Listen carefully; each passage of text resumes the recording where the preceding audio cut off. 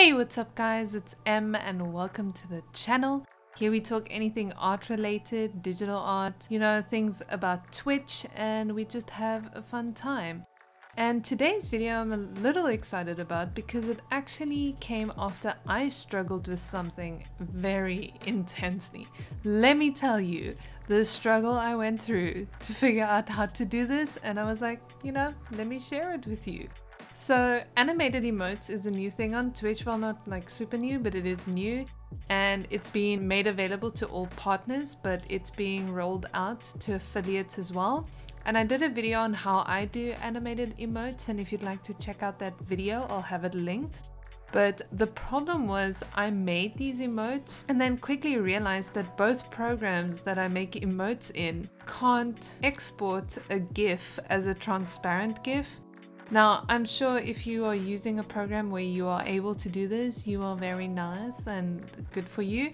But if you are like me and you are either using Clip Studio or you are very stupid and sometimes just do very silly things in Adobe, then you might have this problem. And let me tell you, your prayers have been answered. And I'm gonna give you a solution that's really easy and it doesn't take a lot of your time.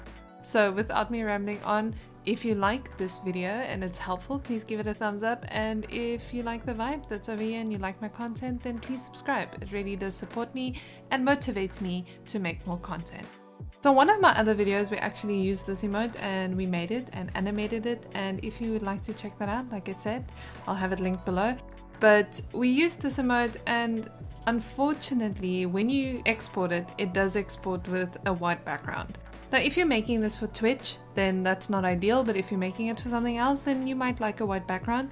For the purpose I'm making it, I don't want a white background. I want it to be transparent, so that means that there's nothing in the background. And I found this very quick solution. Let me just say it wasn't quick to find the solution, but I did find a quick solution. So basically what we're going to do is the same idea as using a green screen, keeping in mind that you can't always use green because green might be in your emote. Like if you made a carrot and you use a green screen, then the carrot's leaves are going to disappear. Not that I know how you would animate a carrot, but you get what I mean. So what we're gonna do is in this emote, we're gonna make the background yellow and then I'm gonna export it with that background. And then I'm gonna open up a website that I'll also have linked below, online GIF tools. And it gives you two little blocks.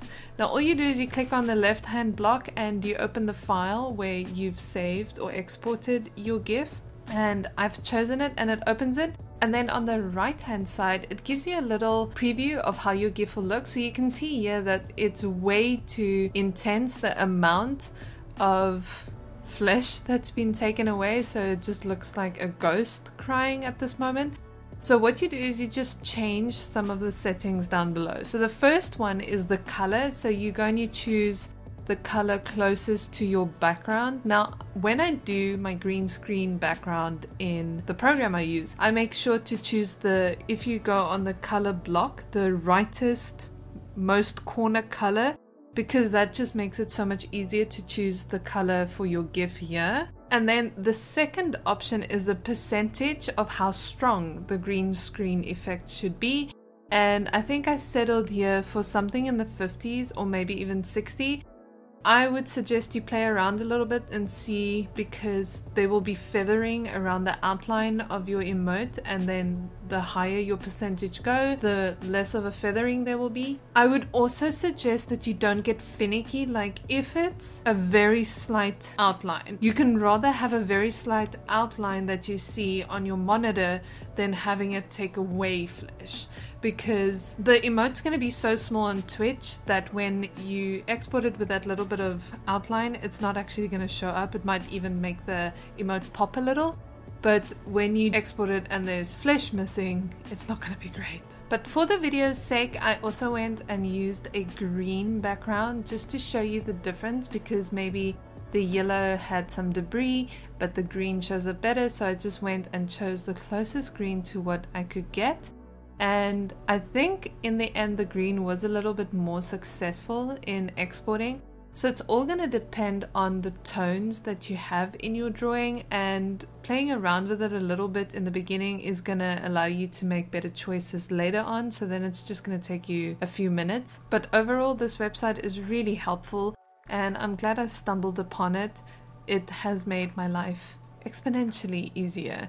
So at the end of the video, I'm just going to quickly drag open both emotes, the left hand side being the yellow background and the right hand side one being the green background.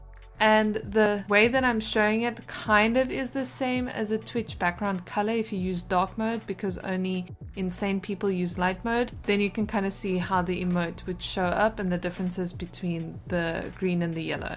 And then maybe you can tell me which one was better. Was it better for me to use the green or was it better for me to use the yellow? And also remember to tell me how grateful you are that I've helped you in this video. And that's basically it for today's video. It was a really, really short one, but I did want to share this amazing discovery with you guys and hopefully it just helps one person. If it can help one person, you know, if there was a video like this on YouTube when I was struggling, I might have not wasted about a day of my life trying to find a solution. So I'm hoping that I make one of you guys' life easier. So let me sound like a broken record. If you liked it, subscribe and hit the thumbs up button. Anyway, have a great day. Bye!